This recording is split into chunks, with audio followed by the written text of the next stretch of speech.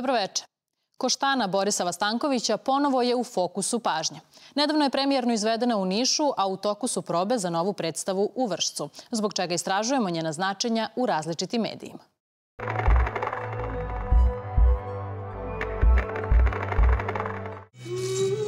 Napisana kao narodni komad sa pevanjem, što je bio izuzetno popularan žanr u srpskom pozorištu u drugoj polovini 19. veka, Koštana je od premijere 1900. godine u Narodnom pozorištu bila favorit kod publike i kritike. Kritičari su isticali istinski Stankovićev talenat koji je na scenu doneo autentično šuštanje šalvara, zveckanje dukata i neobuzdani šarm srpskog juga. U jedan konvencionalan žanr melodramskog zbivanja sa pesmom i igrom, Stanković je uveo novo shvatanje smisla života, koje je Dučić nazvao istočnjački dert. Ta nova osjećajnost se odražavala u tragičnoj intonaciji i završetku koji je uprkos svadbi mrtvački tužan, kako je isticao Jovan Skerlić. Novost je bila i funkcija lika koštane, simbola lepote, praćenog idejama lirske drame, neoromantizma, da lepota i umetnost ne trpe granice društvenih konvencija. Novo scensko tumačenje Koštane u režiji Jane Maričić u Nišu donelo je jedno savremenije i realističnije čitanje komada sa akcentom na kritici patrijarhalnog nasilja. U ovom izvođenju izostaje preterana sentimentalnost i južnjački patos koji Koštanu često prate, ali opstaje subtilna emocija bez koje ovaj komad ne bi bio to što jeste. Kritičko delo nastalo u spoju poezije, realizma i tragičnosti erosa. Ja sam smatrala da e, nema razloga da Mitki govori o nekoj ženi tamo negde, već da bi bilo uzbudljivije da to bude ta žena koja je tu blizu i to baš Koštanina majka, jer smo se bavili time šta žene prenose svojim čerkama iz generacije u generaciju, kakva iskustva, od čega to žele da ih štite. Sve da se palim! Pored nebrojeno mnogo dramskih verzija Koštane, na našim scenama je skoro 100 godina prisutna i opera, koju je komponovao Petar Konjović, kompozitor, muzikolog, pedagog, ali i teatrolog koji je smatrao da Stankovićeva drama ima nedostatke. Koštana kao opera specifična je po tome što ona zaista posjeduje uh, melos uh, Vranja 19. veka i uh, posjeduje citate uh, muzike uh, koja je vezana za to podneblje i to vreme ali druga specifičnost koja odstupa od toga jeste ta što je orkestracija izuzetno koloristična i bogata i negde je tu Konjović na tragu nemačkog poznog romantizma. Meni se lično čini možda i jednog velikog operskog kompozitora kao što je Richard Strauss, a Koštana je specifična i još po jednoj stvari o kojoj Konjović je dosta pisao. Naime, ovaj kompozitor je dosta insistirao na tretmanu teksta i na njegovom pravilnom uklapanju u muzičko tkivo. Konjović u svemu tome video kao neku vrstu emanacije istine. 2020. godine mi smo a, mogli da gledamo ponovo Koštanu. Reditelj je tom prilikom bio Jugra Divojević. Bilo je više verzija Gledao sam verziju sa sopranom Mina, Minom Gligorić i meni su recimo ostali upečatljivi ti dramski recitativi uh, i, i, i ti monolozi uh, koji su brojni u toj operi, možda čak i mnogo više nego ta čuvena velika čočečka igra koju smo mnogo puta želeli da čujemo i negde mi je ostao upečatljiv taj kontrast između jednog neobuzdanog slavlja i veselja prikazanog kroz narodnu igru i tragične sudbine Koštane koja u poslednjoj sceni a, ulazi u kavez koji se zatim lagano uzdiže na gore i ta možda i više puta rabljena tema susreta Koštane sa, alter, sa sobstvenim alter egom gde je balerina obučena u belo, a,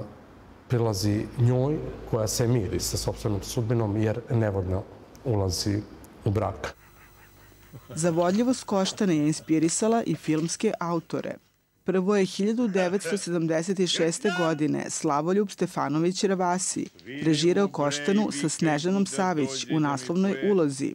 Zatim je Borislav Grigorović snimio Koštanu sa Usmijom Redžepovom kao protagonistkinjom, a posle toga je nastala i verzija sa Majom Ođaklijevskom.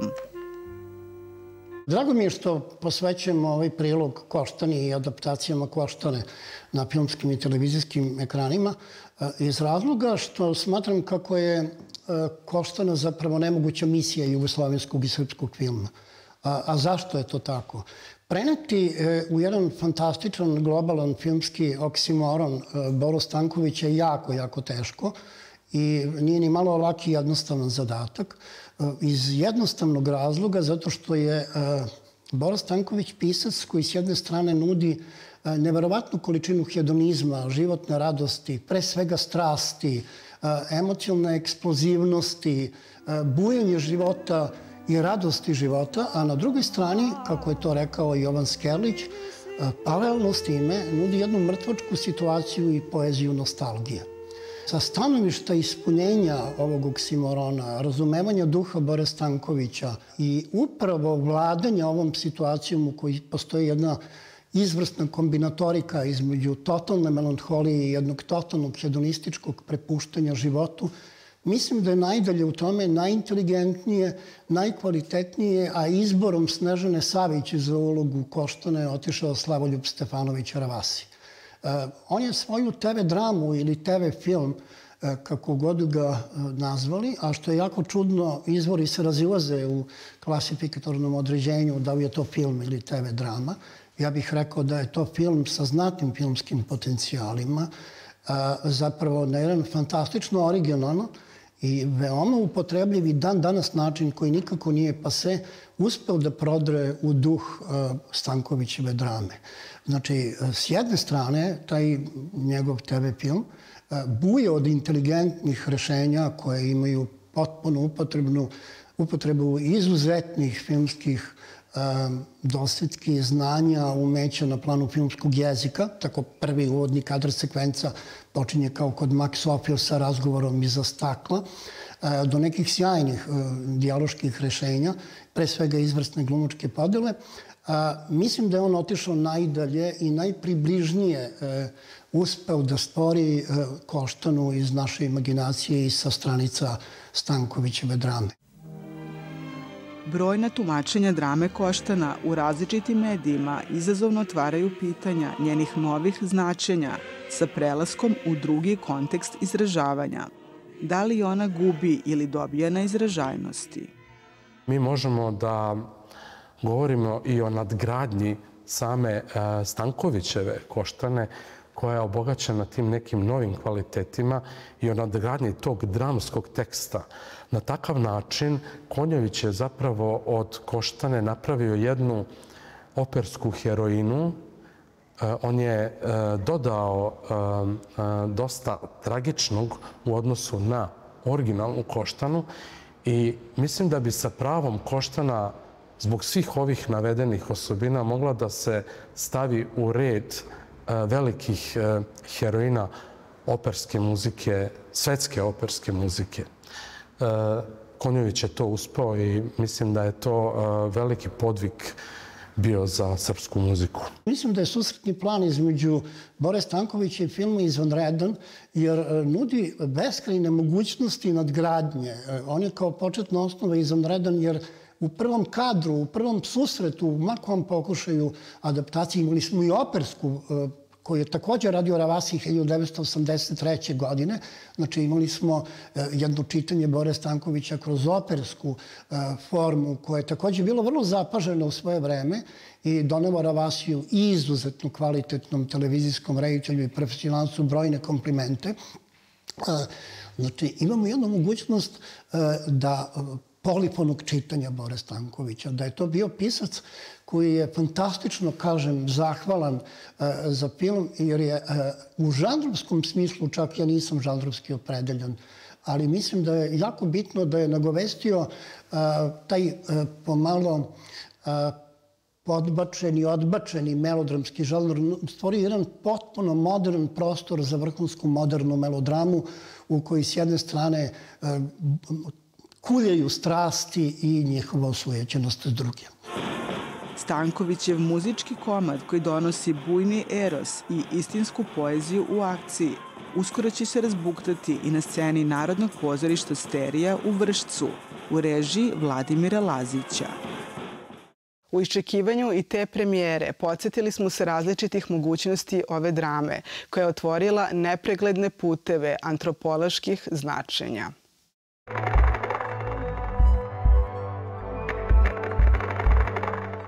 Srbiju će na 60. međunarodnoj izložbi umetnosti Bijenalu u Veneciji, koja počinje 20. aprila, predstavljati umetnik Aleksandar Denić sa radom Kolonijalna izložba. Tim povodom on je naš večerašnji gost. Dobrodošli u Kulturni centar. Hvala, bolje vas naš. Tema ovogodišnjeg bijenala je Stranci svuda, a vi ste kao odgovor na nju ponudili prostornu instalaciju koja predstavlja segment imaginarnog globalnog sela bez njegovih žitelja. Možete li da nam kažete nešto više o konceptu vašeg rada? E, naziv, naziv izložbe je Exposition Colonial, ili ti kolonijalna izložba, gde ja poziciju menjam za 180 stepeni u očekivanju da ka, ka e, da e, kolonializam dolazi sa jedne strane, odnosno da kolonijalne sile funkcionišu na, na po ustaljenom obrazcu, ja sad stvari menjam i običnog malog čoveka stavljam, evropljanina stavljam u kolonizovani položaj, upravo kolonizovan položaj u odnosu na velike korporacije i velike sisteme.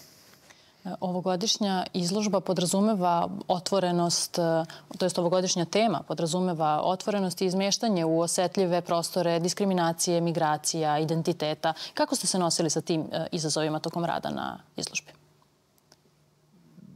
Mi smo svakodnevno ovaj, trpimo taj, da kažem, pritisak sa bilo kojih strana, kad pogledate bilo na socijalnom nivou, političkom, kulturnom, na kraju krajeva.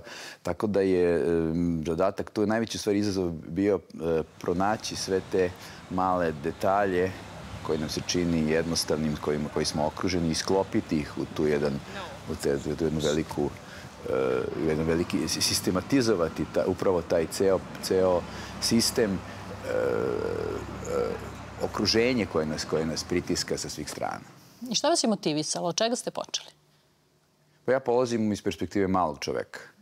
To je bukvalno svakodnevno. Te stranac, osjeća, ja se osjećam stranac e, sve češće bilo gde. Ne, nije pitanje otići negde pa biti stranac. Često se osjećate stranac u svom gradu, okruženi investicionom arhitekturom, okruženi nekim uh, ružnim ulicama, uh, znate, odete, e, mode, razno razne mode pritiskaju, odete, odete u restoran, e, neko vas gleda popreko, gleda vas kao stranca kada naručite meso, nešto meso nije u modi ili, ili imate, e, što bi malo kad se šaljamo kažemo, imate izbor u, u Beogradu da, gastronomski izbor je da li jesti suši ili vegetarijanski ćevape. Pomenuli ste malo pre da je naslov, originalni naslov vaše izložbe na francuskom jeziku. Zbog čega je to tako? Pa, e, kolonijalne izložbe su negde, negde e, produkt, e, odnosno dizajnirane na, u francuskom govornom području. Čak i poslednja izložba kolonijalna koja je doduše nosila naziv Expo, održana u Briselu odnosno posljednja te vrste održana u Briselu, gde je isto bio prisutan onaj glavni kamen spoticanja oko svih tih kolonijih izložbi, a to je taj human zoo ili ti eh, kako bi ga nazvali, ljudski zoološki vrt, koji to je, to je posle drugog svetskog rata čuvena briselska izložba sa onim zgradama u obliku atoma, gde su isto e, građanska, da kažem, opcija dovodila decu, uh, majke sa lepo obučenom decom i pokazivale uh, Afrikance u bukvalno u zatvorenim kavezima i selima projektovali da pokažu život Afrikanaca, ali na nekom drugom izmeštenom mestu. Umetnički paviljon Srbije ove godine je zapravo predstavljen kao jedno aktivno, dinamično, to je biće predstavljen kao aktivno i dinamično mesto, što je značajan preokret u odnosu na to kako su do sada rađene umetničke postavke. Kako ste došli na ideju da na taj način pristupite, odnosno iskoristite paviljon i šta bi takav pristup trebalo da donese posetiocima? Kakvo iskustvo? Moj rad je e, moj rad bez publike, naravno kao i bilo rad, ne funkcioniše, ali e, upravo taj e, s, jedan na jedan, taj, taj, taj dodir sa, sa prostorom će u stvari proizvesti to što ja želim da, da, da, da, da rad proizvede. Upravo da se svako oseti negde, da se... To je malo jedno zvonce, da se svako zapita aha, zašto se ja osjećam kao stranac bilo gde, pa možda upravo u toj nekoj, u tom nekom uh, okruženju koje će biti, ono nije agresivno, ali ono ima, ono, ono prosto pritiska sa svih strana i onda upravo tu negde pokušavam da vidim, e, ideja mi je da negde e, probudim ljude, da ne, oni moraju aktivno da učestvuju tu. Ne, ne, nema zadatka, nema scenarija.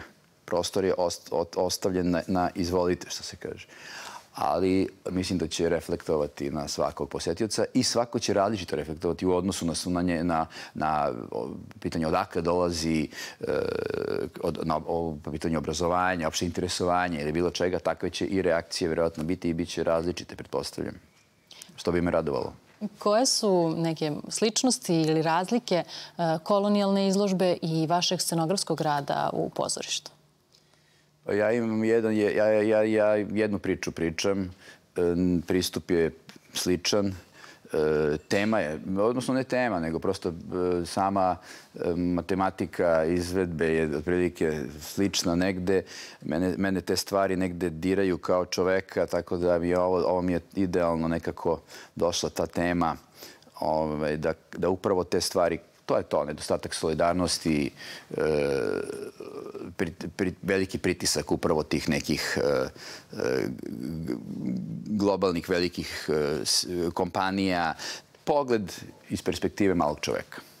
Želim vam mnogo uspeha u Veneciji i hvala vam na gostovanju. Hvala.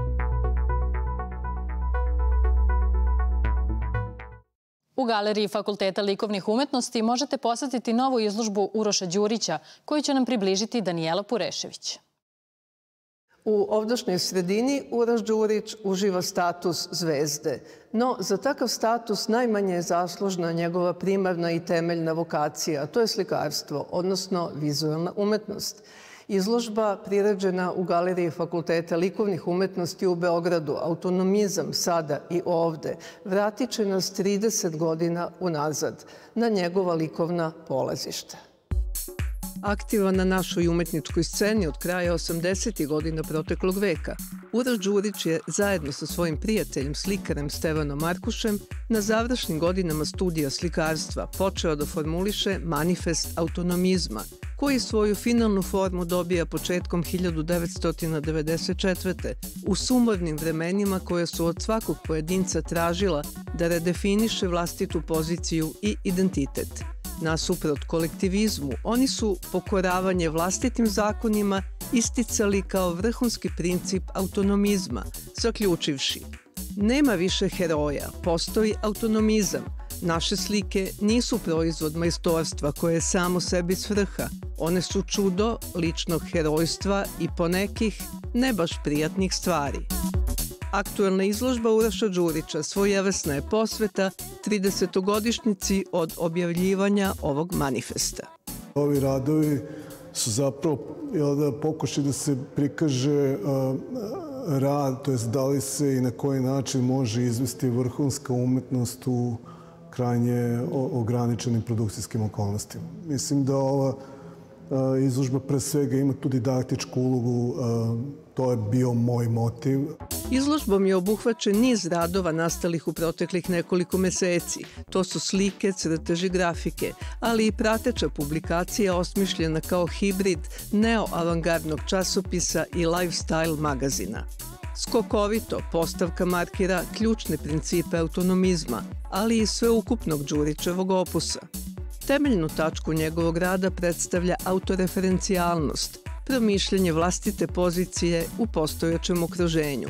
Postupkom apropriacije on poseže za najraznolikijim predlozcima, prevashodno vezanim za lokalno podneblje, od onih iz svakodnevice i pop kulture preko istorijskih avangardi i istorijskih artefakata do književnih sadržaja, svemu dajući novi kontekst.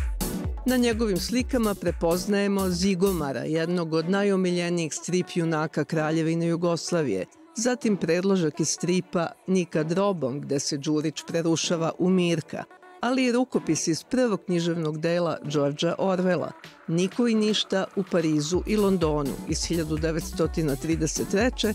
gde pisac opisuje lik anonimnog Srbina kojeg je susreo u Parizu. Naoko laki i zabavni, njegove likovni iskazi veoma su slojeviti i kompleksni. Govor u prvom licu u Đurićevom stvaralaštvu u velikoj meri podražan je korišćenjem autoportreta, zapravo raznorodnih alter ega i avatara, koje on kreira tradicionalnim slikarskim tehnikama uz pomoć fotografije, a odnedavno i posredstvom veštačke inteligencije. To je igrica sa Facebooka, um kako biste izgledali 80-ih. Pošto sam ja 80-ih imao 20 i nešto godina, želeo sam da vidim kako veštačka inteligencija zamišlja mene 80-ih. Onda sam dao svoju fotku iz 80-ih i onda mi je ta fotka iz 80-ih izbacila ovog lika do koga sam uglavio.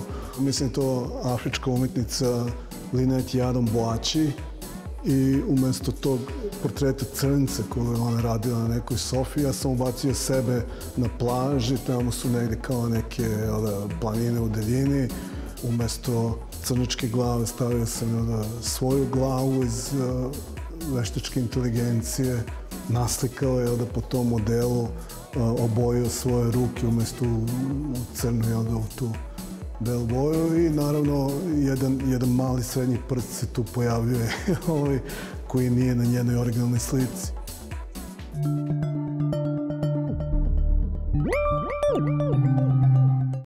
Narednim minutima govorimo o izložbi kolektiva Irvin u umetničkom paviljonu Cvijeta Zuzorić. 1983. godine u Ljubljani slikari Dušan Mandić Miran Mohar, Andrej Savski, Roman Uranjek i Borut Vogelnik oformili su umetničku grupu Irvin. Godinu dana kasnije, zajedno sa bendom Lajbah, pozorištem Gledališće Sester Cipiona Šice i dizajnerskim odsekom Novi kolektivizam, oni osnivaju Noe Sloveniše Kunst, skraćeno NSK, koji će se razviti u jedan od najznačajnijih avangardnih pokreta nekadašnje Jugoslavije. Irvin je u tim nekim internacionalnim okvirima ja bih rekao sa Marinom Abramović i Sanjom Iveković, možda iz Zagreba, ali sa našom Marinom Abramović je jedan od najpoznatijih imena uopšte u svetu. Irvinova umetnička praksa se zasniva na takozvanom retro principu, koji po njima nije stil ili umetnički trend, već princip mišljenja, način ponašanja i delovanja. U njegovom fokusu je paradoks kretanja u napred kroz odnos prema prošlosti. Nije uopšte to čudno da su oni uspevali kroz tu njihovu kolektivnu praksu da integrišu mnoge ideje koje su kružile i koje su na srpskoj sceni, na primjer, nastajale u to vreme Jugoslavije. Na primjer, Vasis Kunst, rad od eh, Raše Todosijevića, oni transformišu u pitanje Vasis Kunst Irvin. Znači, prenose na sebe to pitanje koje Raša postavlja u svom konceptualnom radu iz 70. godina. Rade i sa Marinom Abramović, eh, različite neke aktivnosti 90. Eh, godina i tako dalje. Početkom 90-ih, tokom raspada kojim Jugoslavija postaje država prošlosti, kolektiv otpočinje jedan od svojih najznačajnijih projekata. Stvorena je NSK država u vremenu, izmišljena zemlja bez teritorije i naroda, koja građanima izdaje jedinstvene pasoše, autentične umetničke objekte. Status države se ne dodeljuje teritoriji, već umu, čije se granice pomeraju. Međutim, iako artefakt pasoš u jednom trenutku postaje traženi dokument u zemljama trećeg sveta, aktuelnom izložbom NSK State It's a Beautiful Country u paviljonu Cvijete Zuzorić pred beogradskom publikom se otvaraju prostranstva Irvinove države u vremenu i postavljaju brojna pitanja kompleksnog odnosa umetnosti i realnosti. Najveći deo dokumentarnih video radova se zapravo bavi sa vlasnicima NSK pasoša i njihovom odnosu prema NSK državi. Ovih šest postera ovde, to su posteri iz um, kampanje turističke organizacije Jugoslavije iz 80. godina. Umesto ovog NSK State, što vidimo na posterima, tu je zapravo pisalo Jugoslavija. Jer to je, ne znam, Korčula, uh, negde Bosna, Bled, pobednik u Beogradu i tako dalje. I, e, I tu je ta ova intervencija Irvinova da je, e, smo želeli te postere da donesemo ovde i da se dovede u taj dijalog sa ovim što smo zatekli ovde na terenu i situaciju u kojoj se nalazi paviljan. Pored izložbe koja je organizovana po pozivu Udruženja likovnih umetnika Srbije, gostovanjem Irvina otvoreni su različiti dijalozi o umetničkom nasleđu ovih prostora sa akcentom na problematizaciji umetničkih kolektiva i udruživanja umetnika. Ja kad sam pitao članove kolektiva Irvin kako je moguće da ste toliko ostali zajedno, čak i ni rock bendovi ne ostanu, pa makar se promeni bubnjar ili neko, mislim, a vi ste toliko godina zajedno. Ovaj. I oni kažu, pa je, ima jedan e, možda razlog zašto je to tako, kod nas ne postoji lider u grupi. Intrigantnu novu beogradsku alternativnu rock grupu Days predstavlja Zorica Kojić. Najnovija generacija alternativnog zvuka u Beogradu ima čime da se pohvali ovih dana. Sastav Days potencijalno je pravi naslednik jedne duge linije autorskih ozbiljnih rock grupa sa umetničkim ambicijama koje su od uvek krasile ovu scenu. Mada je njihov osnovni žanr ono što engleska muzička štampa naziva shoegazom, dakle sanjiva, melanholična, neopsihodelična rock ekspresija, U njihovim radovima primećujemo i mnoge druge različite slojeve domaćih uticaja, sve do najuzbudljivijih trenutaka Ekaterine Velike, kao i Jarbola i Kande Kođe i Nebojše. Nakon pojavljivanja na drugoj Hali Gali kompilaciji sa pesmom A ti, da ti, u martu ove godine predstavili su i svoj prvi demo album. Naš novi, stari novi album. Ovaj je novi stari. Napisan pre dve, tri godine i snimljen pre tako godinu i po dana. Ono. Mi smo otišli na moju vikendicu na Avali, stavili smo instrumente, postavili ceo neki studio pod jako velikim znacima navoda i samo smo za nekih dve nedelje snimili celu stvar sami. Um, I to je bilo jako lepo iskustvo. To jeste demo album. Plan je bio da mi taj album pošaljemo nekome i da mi to snimimo u studiju sa nekim budžetom i tako. Taj album stoji već godinu i po dana. Ono. Mi smo zapravo shvatili da to treba da bude baš tako kako je i da ta neka emocija i sirovost taj zvuk zapravo je nešto što ne bismo mogli da rekreiramo u profesionalnom studiju sa velikim budžetom. Tako da smo samo shvatili da ovo sad treba da izađe ovako kako je i to je to. I to nije neko naše trenutno stanje, nije gde smo mi sada muzički, ali ja mislim da je definitivno nešto što ljudi mogu da čuju, trebaju da imaju priliku da čuju kako smo se mi osjećali pre neki godinu dana, ono godinu i po dana. Taj zvuk sa tog albuma Fever Dream um, uvek je bio neki čudan miks. Sad on ima svoj zvuk, pa ja pokušam da u to uđem, a da skroz ne promenim to što on ima. I rekao bi da sad već kad smo krenuli da sviramo i pišemo druge stvari i sve to je krenuo da se pravi na naš zvuk. Nije više njegov zvuk na koji sad mi treba da stavimo to što bi hteli da se molimo Bogu da to zvuči do, dobro. I to je deo razloga što su mi ovaj album izbapacili, da bi samo to što smo snimili, da tu stavimo da svi ču, čuju koliko god ho, hoće da čuje, a sad krećemo da pravimo to što je u stvari Days mm. sad.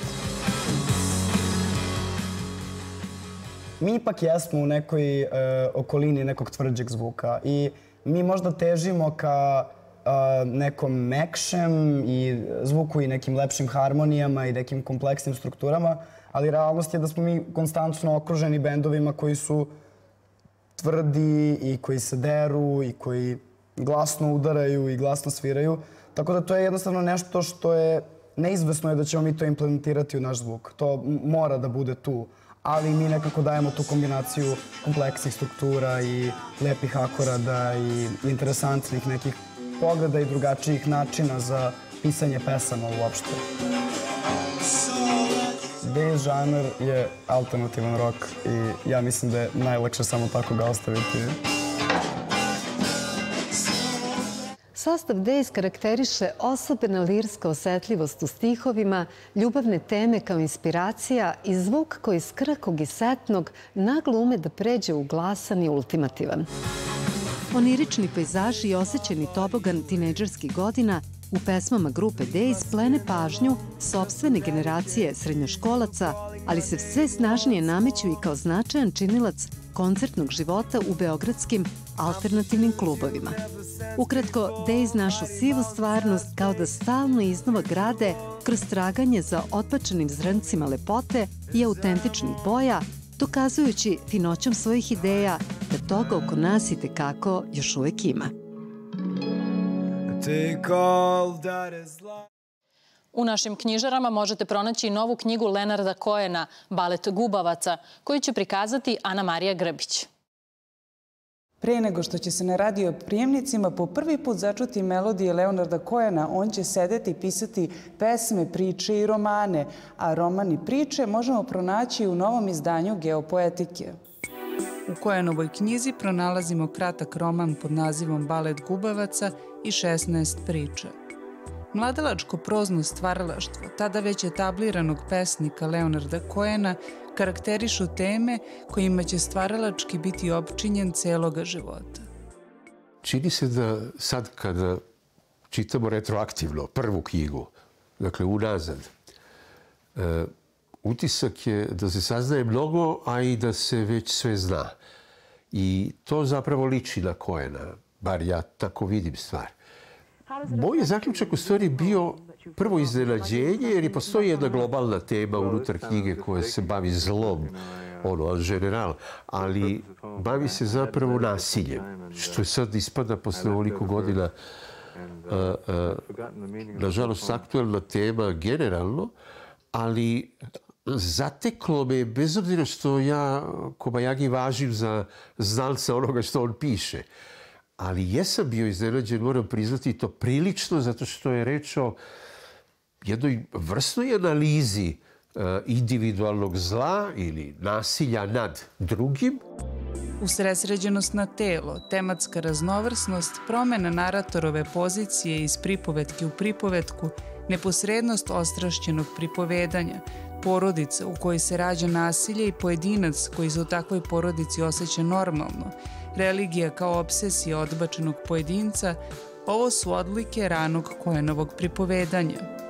Reč je o, o svim onim temama kojima se bavio o, celog života. Dakle, od o, svih pitanja misticizma, mitologija, religije, svih religija, jer je on zaista čudo u tom viđenju neću reći jednakosti, nego jednakosti u gledanju različitih religija, a da kao jevrej nije bio preopterećen sobstveno.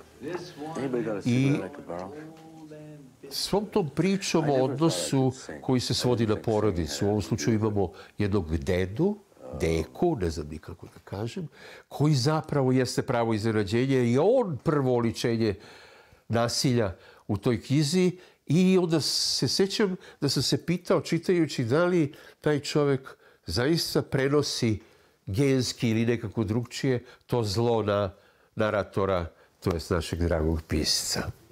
Naturalističke slike i brutalitet nepatvorenog pripovedanja u saglasju su sa razvijenim lirskim karakteristikama kojenovog jezika. Direktnost obraćanja neretko se kombinuje sa aluzivnim napominjanjem na izgled nebitnih, pozadinskih situacija i tema. Kojen je u stvari i, i u pitanju jezika zapravo isto dvostruk. Ja u stvari celo njegovo svo stvaralaštvo vidim u toj dihotomiji. On je stalno u nekom dvojstvu.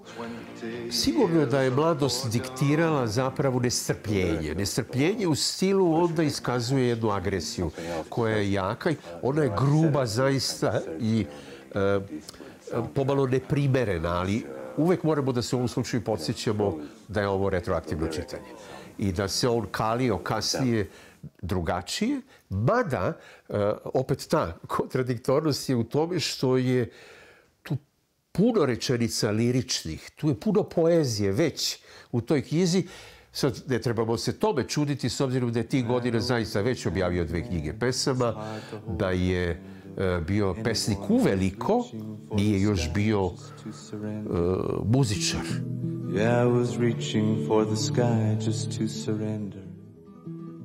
U Narodnom pozorištu u Subotici nedavno je izvedena premijera jedne vrlo nesvakidašnje predstave.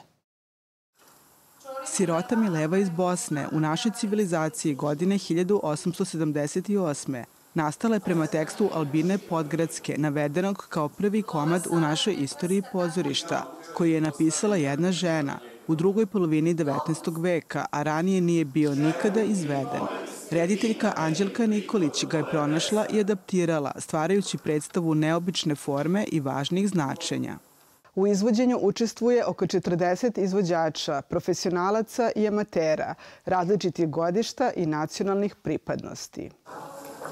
Oni grade jedan žanrovski složen, hibridni izvođački oblik koji ima elemente dramskog teatra postavljenog u brehtovskom maniru otuđenja, isprepletane sa elementima pozorišta zajednice i foruma, gde su konkretno i simbolički izbrisane granice između izvođača i publike.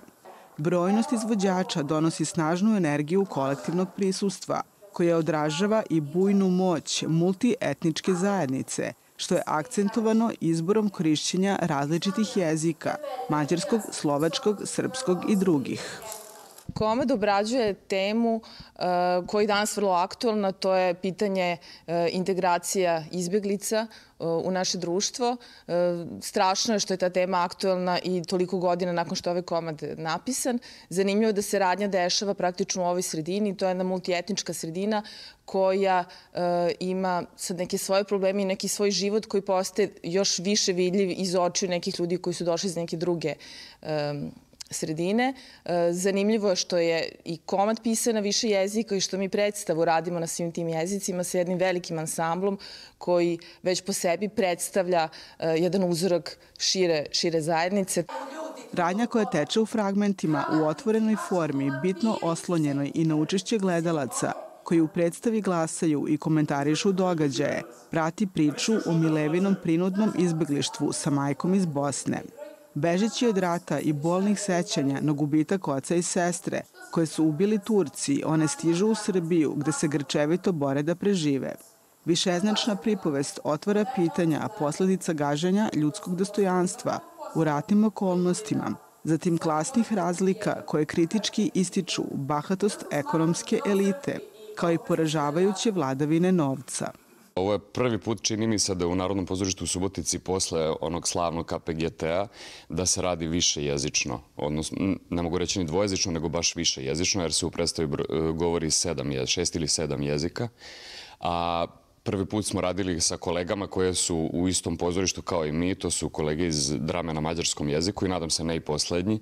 Nekako je prirodan sled da te dve drame sarađuju zajedno i da, i da rade projekte zajedno, makar jedan godišnje ili, ili kako već, jer ako već pričamo o toj interkulturalnosti u Vojvodini, o njoj se samo priča, redko kad se zapravo nešto praktično i desi i evo prve prilike da, da se u pozorištu tako nešto i dogodi. Izbor da u predstavi decu igraju i deca, amateri, donosi autentično osjećanje nevinosti i naivnosti koji se odgovarajuće uklapaju u ovo uspešno scensko istraživanje, izgrađeno na jednom neobičnom jeziku, a za njim se traga na neutabanim i neočekivanim putevima u mraku ugašene ljudskosti tokom konkretnog i metaforičkog rata gde se takođe pronalazi nada u solidarnosti zajednice, prepoznavanju teškoća drugih i potrebi da im se pomogne.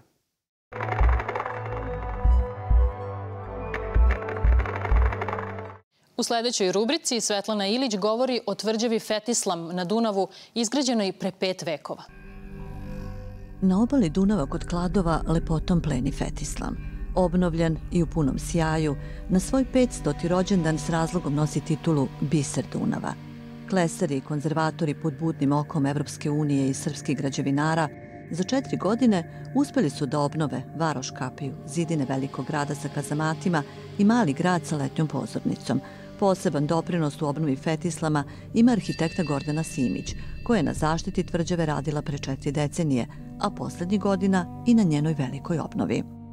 Moram da kažem da su to bili vrlo obimni radovi. E, potpuno je obnovljena ulazna kapija velikog grada, takozvana Varoš kapija. Obnovljeni su kazamati uz nju. Taj priobalni deo malog grada je rekonzerviran delimično i ponovo je izgrađena jedna savremena letnja pozornica. Obnovljena je i ulazna kapija malog grada, e, tako da je 500 godišnjicu Fetislam dočekao u nekom znatno boljim svetlu. Tvrđava Fetislam je izgrađena po nalogu turskog sultana Sulejmana Veličanstvenog, koji je posle zauzimanja Beograda 1521. godine obalu Dunava preko puta rumunskog Severina video kao polaznu tačku za napad na Evropu. Po njegovom nalogu Bali Beg je na samom Dunavu podigao artiljerijsku tvrđavu, koja se u turskim izvorima pominje pod imenom Fetislam, a u hrišćanskim Kladovo. Ona je zadržala autentičnost, materijal je korišćen naravno lokalni koji je korišćen i u vreme izgradnje tvrđave. I bilo je tu vrlo finih, zanatski finih radova oko obnove portala, prozora, potpuno je ručno klesan svaki blok, tako da je ona zaista dobila onaj izgled koji je nekada imala. Tvrđava Fetislam je spomenik kultura od velikog značaja Republike Srbije. Prostire se na 16 hektara površine i sastoji se iz malog i velikog grada. Mali grad su u 16. veku izgradile Osmanlije, a veliki grad početkom 18. Austrijanci. Mene lično uvek ti detalji najviše inspirišu, jer vam oni govore nekako o onom životu koji se tu odvijao. Upravo to, kako su se osvetljavali, kako su se grejali, kako su se zatvarala vrata. Mene je to uvek inspirisalo. Fetislam na Dunavu je imao burnu prošlost. Nekoliko puta je osvojan od strane turske i austrijske vojske naizmenično, sve do 1867. kada su ključevi grada konačno predati Srbima. O prošlosti i životu Fetislama, o njegovim istraživanjima, zaštiti, stanju u kome se nalazio i na kraju velikoj obnovi svedoči prva knjiga koju ovaj izuzetan spomenik dobio. Knjigu tvrđava Fetislam u susret 500-godišnjici utvrđenja u Kladovu, autora Gordane Simić, Anica Radosavljević i Slobodana Radovanovića, uz podršku Europske unije, objavio je Republički zavod za zaštitu spomenika kulture Beograd. Kada sam pre četiri decenije radila na zaštiti tvrđave, e, tada sam napisala jednu stručnu studiju koja je publikovana u časopisu saopštenja. Međutim, sad kada smo radili na obnovi tvrđave, Nemačka organizacija GIZ je želela da se napravi jedna nova publikacija i zahvaljujući njihovom razumevanju i razumevanju svega što smo otkrili na tvrđavi, što su novi podaci, nastala je ova knjiga, tako da je sada mogu svi čitati.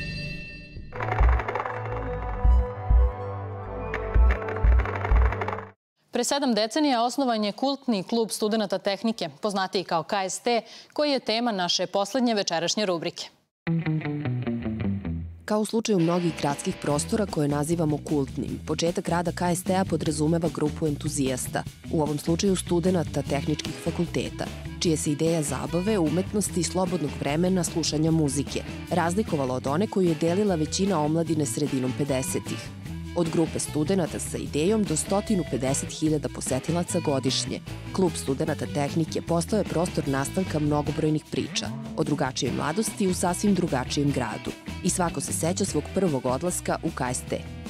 1980. Mada sam 100% siguran da smo recimo Gorančetov rođendan slavili u KST-u preko dana 1982. U, u, u martu, čini mi se.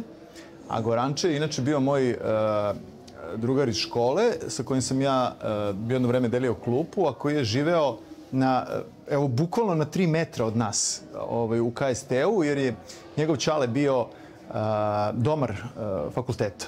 I onda je čovjek imao stan, lepo živeo je na fakultetu i ja sam bukvalno odrastao u KST-u, znači, na, ali najbukvalnije. Za mene je KST u stvari uvijek imao uh, uslovno rečeno kultni status, ajde da kažemo, da upotrebimo i tu reč, ali, ali posebno mesto jeste. Između ostalih stvari, zato što se moji majka i otac upoznali u KST-u.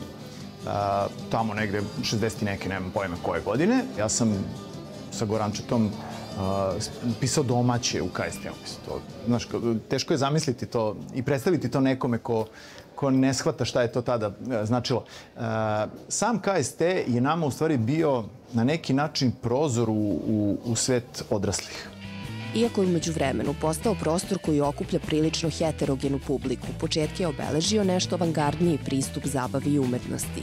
Ovde su se održavale večeri poezije i pozorišta, noći mode. Narednih decenija nepromenjeno je ostalo prepoznavanje KST-ovaca, starih i novih ti nazovi žestoki momci nisu zalazili u KST, nisu zalazili na akademiju, nisu zalazili u SKC. To se sve dešavalo mnogo kasnije uh, kad su se isprepletale stvari. Ali u tom trenutku znalo se da u KST idu uh, pristojni momci, pristojne devojke i tako dalje. Naravno da je i ovde bilo svačega. Naravno da je i ovde bilo koškanja, tuča i svega ostalog što ide uz to, ali uh, je fair play uvek važio. Nikada nismo bili barabe. Bili smo mangupi, ali nismo bili, e, što bi rekao prele, e, nismo bili dripci. Za mnogobrojni izvođači i bendovi iz Jugoslavije, ovaj prostor bio je ono što i Viskija Go Go, otvoren čak 10 godina nakon KST-a za Dorse ili Janis Joplin. KST je svih sedam dana bio krcat, bio je rasadnih bendova koji su tada recimo jedva dolazili do prilike da sviraju u KST-u, a to su sada već veliki, da ne kažem stadionski, ali bendovi koji puno je hale, pa čak i Težmajda. Bio je jedan fenomenalan koncert po pljusku nekom. Nikome nije palo na pamet da, da se skloni i ovaj sad kako je bašta KST-a uvijek bila e, blago nagnuta ka sredini, uslovno rečeno blago nagnuta. Ovaj, neki su se kupali, onako, virile su im glave ovaj, polegali u, u onu vodu, ovi, dobacivali se loptom, igrali vaterpolo, mislim, potpuni šov. Uh, svašta je tu bilo, svirali smo maskembale, svirali smo u amfiteatru, ne znam tačan broj, ali generalno sigurno par desetina puta. Caka je u tome što to postoji skoro jedan vek. Caka je u tome što je KST poznat regionalno, znači cela bivša Jugoslavija, pogotovo svi ljudi rokopredeljenja, zna se šta sve to nosi sa sobom, intelektualizam, umetnost i ostalo, su znali za KST. Uh, Caka je bilo u tome što je KST zaista imao odličan kadar koji je znao da već tad setupuje, namesti vrhunski razglas i jednostavno kada se to sve sklopi nije moglo da ne urodi plodom.